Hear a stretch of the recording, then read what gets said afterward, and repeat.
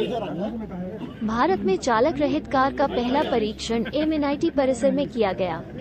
परीक्षण के तहत बिना चालक वाली कार को छात्रों ने चलाया तथा आर्टिफिशियल इंटेलिजेंस के तहत अवरोध होने पर कार स्वत रुक गई। माइक्रोसॉफ्ट एशिया के अध्यक्ष अहमद मजहरी के सामने इसका पहला डेमो हुआ। मोतीलाल नेहरू इंजीनियरिंग कॉलेज के छात्र सम्मेलन के तहत कोविड काल के पहले यहाँ उन्नीस बैच के पूरा छात्र आए थे। उनको छात्रों का एक प्रोजेक्ट पसंद आया। इसके तहत उन्होंने उसकी फंडिंग की। लगभग 18 लाख रुपए लागत के साथ एमएनआईटी के अलग अलग विभागों के छात्रों का एक दल लगा और उसने वाहन में लगने वाली ऐसी किट प्रारंभिक तौर पर तैयार कर ली, जिसे किसी भी इलेक्ट्रिक वाहन में लगाकर उसे चालक रहित बनाया जा सकता है। छात्रों के दल ने शोध और भारतीय परिवेश के अनुसार सड़कों पर क्या अवरोध आते हैं, इसके तहत एक प्रोग्राम लिखा और उसे अमल में लाए। तो इस कार पे मतलब काफ़ी समय से हम काम कर रहे थे। 2018 में इसका सबसे नींव रखी गई थी इसके हमारे सीनियर के द्वारा। हमारे सीनियर्स के द्वारा इसकी नींव रखी गई थी। उस टाइम हमारे एक सीनियर थे भुवन सर, भुवन जाम सर। उन्होंने ये आइडिया 95 बैच को पिच किया था। तो उस टाइम उन्होंने काफ़ी दिलचस्पी दिखाई थी इसमें और, काफ़ी दिलचस्पी दिखाई थी और, उन्होंने बोला कि हम इस इस मुहिम को सपोर्ट करना चाहेंगे।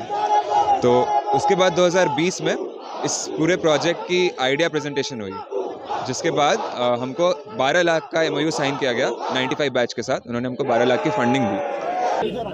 भारत की सड़कें और यहाँ तरह तरह के अवरोध होते हैं जो विदेश से बिल्कुल अलग होते हैं। इसको ध्यान में रखकर छात्रों के दल ने अलग अलग अवरोध के चित्र सॉफ्टवेयर को दिखाए। सेंसर और सॉफ्टवेयर कैमरों के ज़रिए पूरा प्रोग्राम लिखा गया और इसके बाद आज इसका परीक्षण किया गया। पूरा छात्रों के दल के उत्साह से ये दिखता है कि वो कितने आशावान है, भविष्य के वाहन और भारत की उन्नति के लिए। ये संस्थान के लिए और इस प्रयागराज शहर के लिए और भारत के लिए ये बहुत ही गौरव की बात है कि मोतीलाल नेहरू राष्ट्रीय प्रौद्योगिकी संस्थान के छात्रों ने ड्राइवरलेस कार बनाई। इसका सक्सेसफुल ट्रायल हुआ। फ़र्स्ट फ़ेज़ में अभी काफ़ी कुछ जितना टारगेट था सब अचीव कर लिया गया। सेकेंड फ़ेज़ में कंप्लीट टारगेट को अचीव करेंगे। और ये आत्मनिर्भर भारत की तरफ़ जो भारत सरकार और प्रधानमंत्री का, प्रधानमंत्री जी का आह्वान है, उस पर हम लोग पूरी तरह से काम निदेशक का कहना है कि प्रारंभिक और पर इस वाहन का प्रथम परीक्षण किया गया है। देसी परिवेश तकनीक के कारण ये तकनीक काफ़ी सस्ती होगी और लगभग तीन साल में सड़क पर ये दिखने लगेगी। हमारे इंस्टीट्यूट के लिए बड़े गौरव की बात है कि हमारे जो हमारे फैकल्टीज हैं, उन लोगों ने स्टूडेंट्स के साथ मिल करके इन कोरोना काल में जो शुरुआत की थी इस ड्राइव, ड्राइवरलेस कार बनाने की, उसकी प्रगति आज डेमो डेमो हुआ है, जिसमें ये दिखाया गया कार बिना किसी भी ड्राइवर के साथ हम उसको चला सकते हैं और ये चलाने के लिए जो अभियान शुरू किया गया, उसमें करीब तीन साल का समय लगा।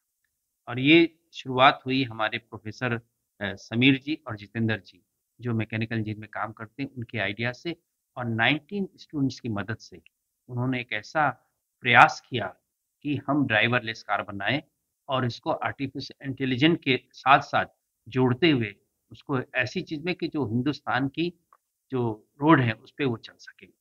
और इसके लिए उनका सहयोग मिला 96 बैच के जो एलुमिनाई थे उनकी तरफ़ से 95 बैच के सॉरी 95 बैच के अलमनाई की तरफ़ से हमें उनका सहयोग मिला। उन्होंने एक गोल्फ कार उन्होंने प्रेजेंट की जो सिक्स सीटर है और इस गोल्फ कार में उन्होंने कुछ चेंजेस किए।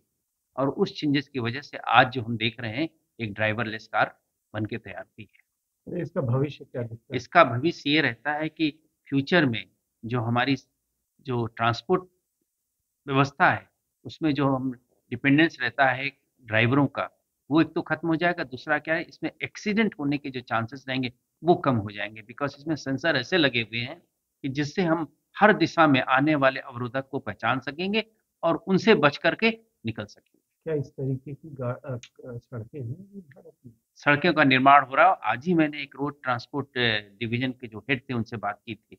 तो ये हुआ है कि ये जो सड़कें जो बन रही हैं ये कायदे से बन रही है और इनका जो गुणवत्ता है वो पूरे वैश्विक स्तर की। और हम एक बात और करना चाहें ऐसा नहीं कि इस दिशा में प्रयास नहीं पूरे विश्व में इस दिशा में प्रयास हो चुके हैं एक टेक्सटाइल कंपनी है जो इस तरह की जो सड़कों पे निकाल चुके हैं यूएस में। और उसकी कीमत जो है इस समय अस्सी हज़ार डॉलर से ज़्यादा है। अगर हम यही इसी तरह की कार हिंदुस्तान में अगर सस्ते बना दें जो कि सब लोग का अफोर्डेबल है यही उसका हमारा प्रयास रहेगा ये जो प्रोजेक्ट है सर ये रूप में आने में कितना समय लगेगा? मतलब देखिए? कॉमर्स यूटिलाइज है। अब इस पे क्या है कि हम लोग एक जो हम लोग का प्रोटोटाइप है वो तो बन गया है। अब हम लोग को वेंचर कैपिटलिस्ट की ज़रूरत पड़ेगी और कुछ और जो कंपनियाँ जो बसेस बनाती हैं उनसे बात करना पड़ेगा। तो इसमें